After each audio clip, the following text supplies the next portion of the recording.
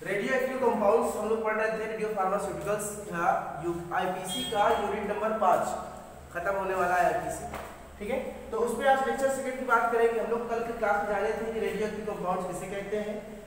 Radioactive rays alpha beta gamma क्या होते हैं? और ये निकलते हैं तो कितनी कमी आती है इलेक्ट्रॉन्स में? और दूसरी बात हमने देखा था कि आइसोटोप क्या होते हैं। अगर आपने ये नहीं देखा तो आप जाके चेक करिए प्ले स्टोर वीडियो चेक करिए। लेक्चर टू पे आते हैं आज हम लोग। रेडियो एक्टिव डीके की बात करेंगे। यूनिट्स की बात करेंगे हाफ़ लाइफ की बात करेंगे और एवरेज लाइफ की बात करेंगे। इन तीन चार चीज़ों को हमको जानना है। सबसे पहले बात करेंगे रेडियो एक्टिव डीके देखो डीके मतलब क्या होता है? क्षरण। आपको मैंने बताया था कि जैसे ट्रक में अगर सेव लोड है और ओवरलोड है तो वो हर मिनट हर सेकेंड ट्रक से लगातार सेव गिरता है। तो एक यूनिट टाइम चाहे उसको एक सेकेंड मानो चाहे एक मिनट मानो चाहे एक घंटा मानो चाहे एक दिन मानो कोई सा भी एक यूनिट टाइम ले लो। उस यूनिट टाइम में जितना सेब गिरा, मैंने कहा कि एक घंटे में जितना सेब बाहर गिरा, वो उसका डीके उसका डीके मतलब होता है क्षरण होना, कम होना। उसी तरह रेडियो एक्टिव कंपाउंड जो होते हैं, वो लगातार एमिट करते हैं रेडिएशन को और उनके मास में लगातार कमी आती है। है ना? कोई भी रेडियो एक्टिव कंपाउंड है, भैया वो रेडियो एक्टिव कंपाउंड लगातार अपने alpha beta gamma alpha beta gamma निकालेगा तो इसके मास में कुछ कमी नहीं आएगी।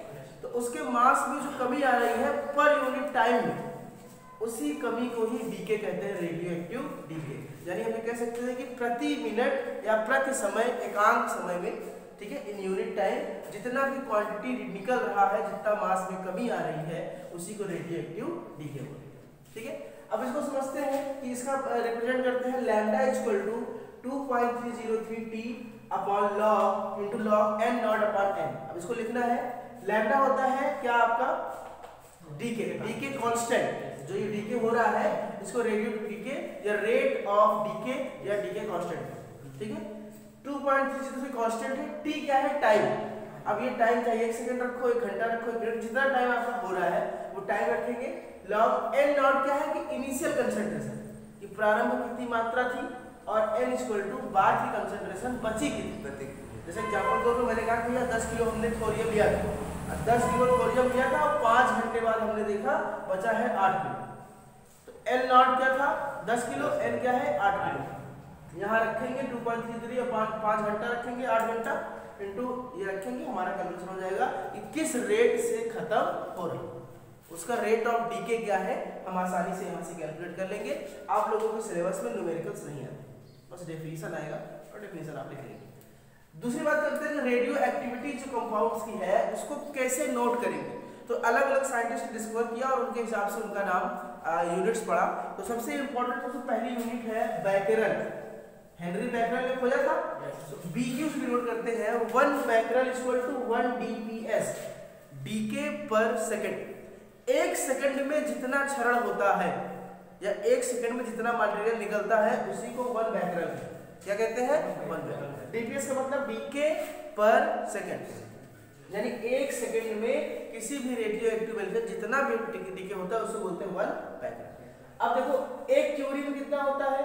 3.7 पॉइंट सेवन इंटू टेन की पावर टेन बीपीएस यानी डीके पर सेकंड इसको रिप्रेजेंट करता है सी से. यानी हम कह सकते हैं one C equal to three point seven ten power ten BPS अच्छा एक आरडी आरडी मतलब Rutherford one R D square ten की पावर सिक्स जीपीएस ये आपको याद करना है।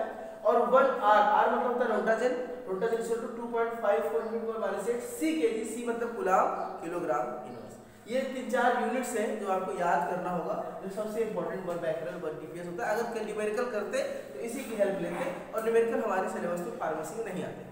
सिर्फ़ थियोरेटिकल आते हैं। थियोरेटिकल हम लोग यूनिट याद कर लेंगे। इतना काफ़ी है। नेक्स्ट क्लास में लोग पढ़ने वाले नेक्स्ट टॉपिक में है हाफ़ लाइफ अब ये हाफ़ लाइफ क्या होता है? हिंदी में अर्ध आयु काल कहते हैं। इसको डिनोट करते हैं।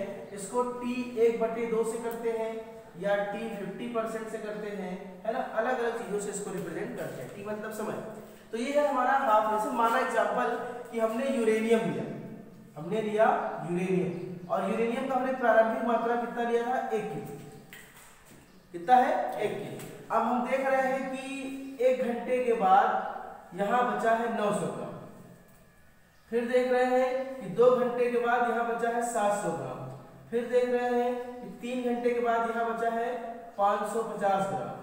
फिर देख रहे हैं चार घंटे बाद यहाँ बचा है 500 ग्राम। फिर देख रहे हैं छह घंटे बाद यहाँ बचा है 300 ग्राम। तो क्या है देखो अपनी प्रारंभिक मात्रा का आधा कहाँ हुआ है। यहाँ यहाँ यहाँ? यहाँ यहाँ। पाँच सौ ग्राम। प्रारंभिक मात्रा का आधा क्या है, पाँच सौ। अब किस समय में हुआ है? चार घंटे। तो चार घंटा इसका अर्ध आयु काल। इसका टी हाफ़ अब समझो डेफिनेशन कि किसी भी एलिमेंट्स का रेडियोएक्टिव एलिमेंट का, जिस समय में अपनी इनिशियल क्वांटिटी यानी प्रारंभिक मात्रा का आधा शेष बचता है। क्या बचता है? आधा। तो उसे क्या बोलते हैं? उसका अर्धायु काल ठीक है? क्या बोलते हैं उसको? अर्ध आयु काल। अंग्रेज़ी में अगर समझना चाहे लिखेगा लिखेगा half life is that time when the concentration of radioactive elements remain half of their initial concentration ठीक है? अब इसका फॉर्मूला होता है t half equal to 0.693 upon lambda ये कैसे आया? ये फॉर्मूला आप देख रहे हैं। लैम्डा 2.303 अपॉन t t है क्या? रखेंगे t हाफ़ और यहाँ पे n ज़ीरो क्या है? इनिशियल मतलब मान लीजिए एक, और लास्ट वाला एक बटे दो। तो एक बटे दो दो ऊपर जाएगा लॉग टू की वैल्यू कितनी थी? Zero point three zero one zero इसको इसको मल्टीप्लाई करोगे क्या आएगा?